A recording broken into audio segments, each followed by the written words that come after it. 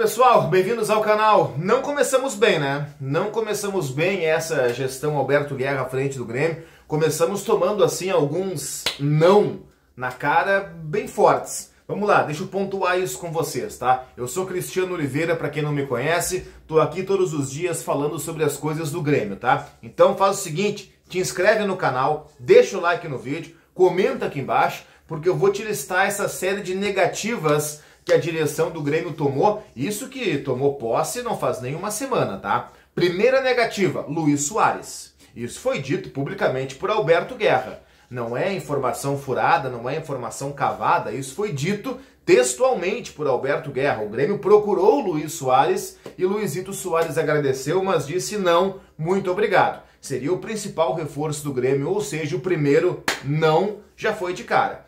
O segundo não foi de Cristiano Keller, CEO do Palmeiras. Na real, no Palmeiras o cargo dele tem um outro nome, mas no Grêmio ele viria para ser CEO do Alberto Guerra e ele disse para Alberto Guerra o seguinte: não, muito obrigado, mas vou continuar no Palmeiras. Já foi o segundo não, assim, de cara. O terceiro não ainda tem um asterisco porque pode virar sim dependendo do que vai acontecer no clube dele. Trata-se de Rodrigo Caetano, diretor executivo que conta com a admiração de Alberto Guerra. O Guerra mais de uma vez disse que o Caetano para ele é o melhor executivo do Brasil, que aliás eu discordo frontalmente, mas enfim, é a opinião do Alberto Guerra. O Caetano em princípio fica no Atlético Mineiro. Ele só deve sair do Atlético se o Atlético contratar para ser o seu novo técnico, Eduardo Cudê.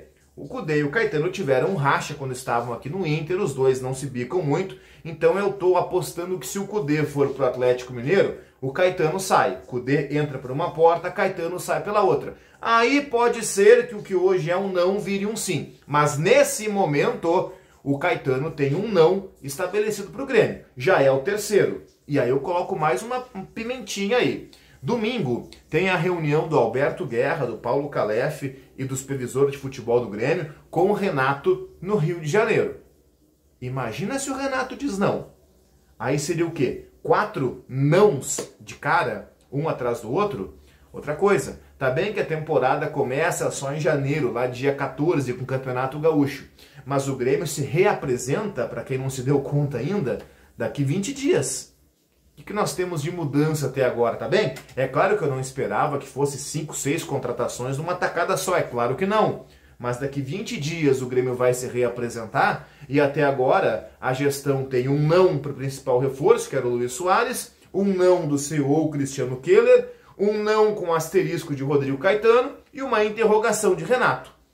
Não começamos bem, né? Vamos ver, é só o início. Tem muita coisa para acontecer, muita água para rolar. Essa não é, sob hipótese alguma, uma opinião definitiva sobre Alberto Guerra, que eu acho um cara bom e que tem tudo para fazer um bom mandato no Grêmio. Desde que bem acompanhado, como parece que vai se cercando bem nesse primeiro momento.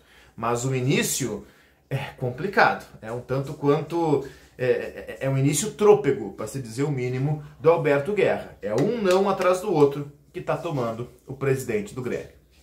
Comenta aqui embaixo, deixa o like no vídeo, te inscreve no canal.